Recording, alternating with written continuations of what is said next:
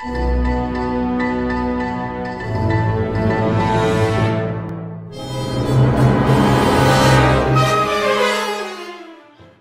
morning, everybody. Welcome to another edition of Lab 207 webcast. My name is Mr. Kite, and I'll be hanging out with you today as we continue on in our series about water.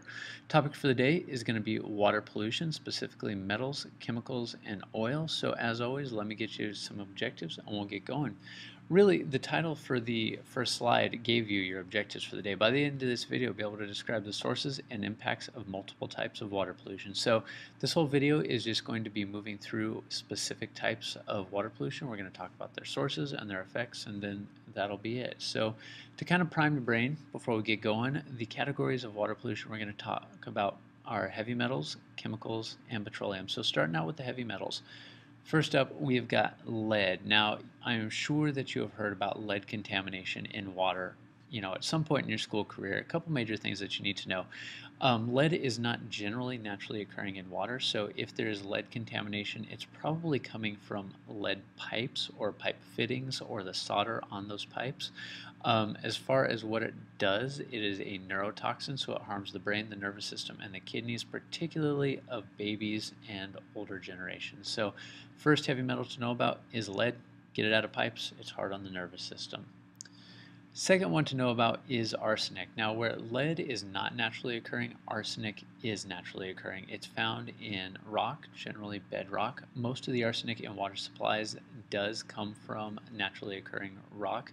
It is a carcinogen, which means that it causes multiple types of cancer. Now, Good news on arsenic is that it is removable through filtration processes. However, mining and other um, industries that disturb rock and bedrock tend to release quite a bit of arsenic into water supplies because they expose that bedrock. The water then runs over it, dissolves the arsenic, and it carries that arsenic downstream. Next up on the hit parade is going to be mercury. Beautiful mercury. Things that you need to know about mercury. Um, mercury in its inorganic form, just naturally occurring in the environment, is actually not harmful. But once it's in the environment, Bacteria convert it into a form called methylmercury. Methylmercury is a very strong, very dangerous neurotoxin. Most of the mercury that is found in the environment that is harmful to us is released through the burning of fossil fuels, especially coal. Um, when coal is burned, it releases a ton of mercury. Gasoline and other oils also release mercury too when they are burned. So basically, what happens is those fuels are burned, the mercury is released into the atmosphere. Once it's in the atmosphere, whenever it rains or snows, that mercury is carried from the atmosphere down into waterways. Once it's into the waterway, it enters the food chain. And then, as we have talked about in a previous video, goes through uh, biomagnification, which is the idea that as a chemical moves up the food chain, it becomes more concentrated. This is one of the reasons that they talk a lot about limiting your seafood intake, especially uh, intake of top predator fish like swordfish or tuna or something like that, is because they can contain very high levels of mercury that they have consumed throughout their life. Mercury can also make it into the environment through the mining process. Um, mercury can be used in the process of extracting gold from rock and sediment. So know that mercury found in the environment releases the mining process, but also and most frequently through the burning of fossil fuels. We're going to move from our heavy metals into actual chemicals. First one we're to talk about is acid deposition and acid mine drainage. Acid deposition is more commonly known as acid rain, and very quickly, the way that acid rain forms is a process you should be aware of. Um, you have got the burning of fuels, again, usually coal, sometimes oil. The burning of those fuels releases sulfates, SO2, and nitrous oxide. So these are going to be known as SOx and NOx. Once these guys are into the atmosphere, they mix with the uh, water vapor that makes a cloud. Once they mix with that water vapor in the cloud, they form sulfuric acid and nitric acid.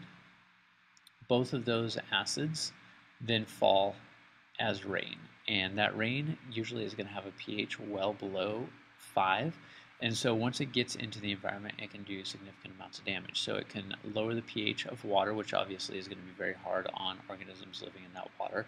Um, once water becomes acidic, it can cause rocks that are in that waterway to release other harmful metals into the uh, waterway, such as lead and aluminum. And also, obviously, acid rain falling on vegetation is going to kill vegetation over time. So, know how acid deposition forms or how acid precipitation forms and the effects. The other one you need to know about is acid mine drainage. And this occurs when a mine has been abandoned. So a mine is dug, it's left as an empty pit. That empty pit fills up with either naturally occurring groundwater or precipitation. As that water sits in that mine, it reacts with a mineral called pyrite. When pyrite interacts with water and air at the same time, it breaks down to form ions, and that's going to cause the water to become acidic. It also forms iron. So this uh, acid water that is found in mines can then drain off into waterways and groundwater and lower the pH of that water, thus harming the ecosystem in significant ways. So know acid deposition and know acid mine drainage. Then we've got our pesticides and inert ingredients. So pesticides are kind of a no-brainer. They are chemicals that are built to kill things. Usually they act on the nervous systems of bugs, but once those are in the environment, they can have all kinds of uh, effects. One is that they are indiscriminate, meaning that pesticides can be sprayed for a particular pest, but that pesticide is designed to kill things, so it's going to kill many bugs, good, bad, and otherwise. Um, another thing to know about pesticides is that they can be neurotoxins. Also, you should know that sometimes they have unintended consequences. They might be built for the nervous system of a pest, but as they move through the food chain, as is the case with DDD, DDT, they can impact the eggshell forming capabilities of birds. So they can have effects that wouldn't normally be associated with them. And then something else you need to know about pesticides is that they have got inert ingredients. Now you hear that word inert and you think, oh, that means that it's harmless. Interesting thing is, is that a lot of pesticides have got these ingredients in them known as inert ingredients that are not on their face value intended to kill whatever the target organism is. They rather help the pesticide to do its job, whether it is helping the pesticide to get into the organism, helping the herbicide get into the plant, helping that thing to dissolve in water, whatever. Those inert ingredients themselves can be highly toxic, but because they're classified as inert ingredients, they are not often regulated. So they can be a big problem, especially for amphibians. A lot of the inert ingredients found in pesticides are actually highly toxic to amphibians. So pesticides and inert ingredients going to move us on into pharmaceuticals. And I would say that pharmaceuticals is not a type of pollution that's often thought about. But recent tests has found that upwards of like 90% of American streams and rivers have some sort of pharmaceutical in them. The way that pharmaceuticals generally get into the water supply is, well, from the home. So if you have got people in the home who are taking birth control pills, when they urinate, some of those chemicals are going to be released into the sewage system. A lot of people flush old uh, pills down the drain, so that's going to put them into the water system. Also, we have got you know mass farming operations, CAFO feedlots that give significant amounts of pharmaceuticals to animals, and then when those animals urinate or defecate, that makes it into the waterway as well. Biggest concern with pharmaceuticals is that they can often mimic hormones and become endocrine disruptors, which means that Animals that are exposed to these chemicals over time may see things such as sterility. You might have sex change in amphibians and fish where you get males start producing female eggs. So um, the big overarching impacts of pharmaceuticals in waterways are unknown. It's something that's just now starting to be re researched and is starting to come to light. So expect to hear more about this topic over time.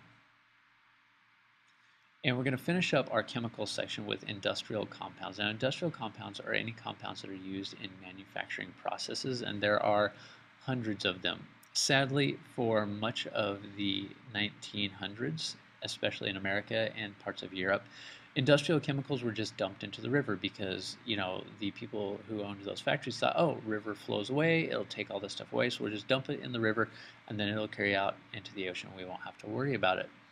Because of this practice, many rivers in America became so contaminated that no fish could live in them, people could not swim in them, and in some cases, such as the Cuyahoga River in Ohio, which you can see there, they became so contaminated that they actually caught fire. Now, when you've got water that can catch fire, you know you have got a problem. So, all of these contaminated rivers and the burning of the Cuyahoga River prompted some fairly strict water quality legislation that has since led to a significant reduction in the amount of pollution in American waterways. There are some industrial chemicals to be aware of, though you need to know about PCBs, which are used in the manufacture of uh, plastics and insulators. They are a significant carcinogen that is still being found in water. They are extremely persistent. So even though companies have stopped using them or stopped putting them into waterways, they can still be found because they hang out in the water for quite a while. And we're going to wrap up with oil. Now, I would say that when people think of water pollution, oil is the first thing that comes to their brain and it's the because it's like big it's visible you got black oil slicks all over the place you got catastrophic explosions oil is generally what comes to mind so a couple things to know about oil spills do put a significant amount of oil into our environment big ones to know about that we've talked about already are bp horizon and the exxon valdez but a couple of the things that i want to note is that most oil that makes it into waterways is actually the result of water washing that oil off of streets and sidewalks on the land and then carrying it downstream into the ocean. Um, there is a significant amount of oil that makes it into the environment through oil spills, but most of it is actually runoff. And another interesting thing is that oil naturally seeps into the environment. So where oil deposits are close to the surface of the earth, they will actually seep out. And something like half of the oil that ends up in American waterways on a yearly basis is actually the result of natural oil seeps underground. But environmental damage from a big scale oil spill is obviously a huge problem. You have got the oil itself, which is going to kill almost any organism that it comes into contact with and covers. It's going to kill most of the algae and plankton in an area because either they're going to be poisoned or they will no longer be able to get sunlight. Um, you've got that oil that gets into rocks and sediments and hangs out on shorelines for a long time. So Oil spills are bad. We know this. The uh, BP Horizon oil spill is still having really significant impacts on the fishing industry in the Gulf of Mexico. So, because oil spills are such a big problem, you should know some things about remediation. Remediation means to clean up or to make better, and some of the strategies that are used. If the oil is on the surface of the water, one of the strategies that cleanup crews will use is they've got these big ships that have got oil vacuums on them and essentially they stick a hose over the side of the ship and they vacuum up the oil just like you would vacuum your carpet. So that would be one strategy. When they do that, that mix of water and oil that comes into the ship, the oil is removed from the water and then the water is pumped back out. They also employ booms, which are basically big floating pipes that have got like skirts that hang down from them. These booms surround the oil spill, and since oil is lighter than water and floats on the top, these booms will contain the oil in one area and another strategy that they use, and this was used pretty extensively in the BP Horizon spill, is dispersants. So dispersants are chemicals that when sprayed over the top of an oil slick, they will cause that oil to break up and disperse into the water. Now, thing to note, this doesn't make the oil actually go away, it just breaks it up so it's not necessarily visible.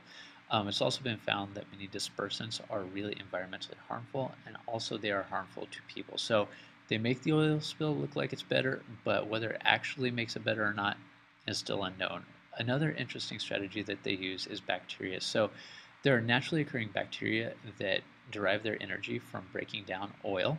Scientists are currently working on how to genetically modify or engineer and grow bacteria that can be used to break down oil spills. So if there were an oil spill, they could spread these bacteria in the water and the bacteria would just naturally eat the oil and get rid of it. So I think that's kind of a cool strategy. Last two things I want to mention as we wrap up um, sometimes oil spills occur below the surface and above the surface. So we saw this with the BP spill. There was the oil you saw on top of the surface, but then down below the surface there was what was called an oil plume, which is a mixture of oil and water. It's kind of like salad dressing. And oil plumes just travel underneath the surface of the water. So it's possible that a company may clean up the surface of the water, but then if you were to go down deep into the ocean, you would find these big plumes of oil running around down there. And then also once the oil makes it onto the coastline, it's extremely hard to clean up. It gets down into the sand, it wraps around the rocks, it gets in all of all of the crevices. We are now more than 20 years removed from the BP oil spill, not the BP oil spill, the Exxon Valdez spill, and still, if you dig pits in the sand at Prince William Sound, you will find oil below that sand. So, once oil is in the environment, it stays there for a long time. And with these big spills, we still are not necessarily aware of all of the environmental impacts that are going to come out of them. So That's it. I would recommend going back, making sure that you know each of the types of water pollution that I just talked about. Make sure that you know about oil spills and some of these strategies that are used to clean them up. I appreciate you joining us on the Lab 207 webcast. My name is Mr. Kite. Hopefully we'll see you again.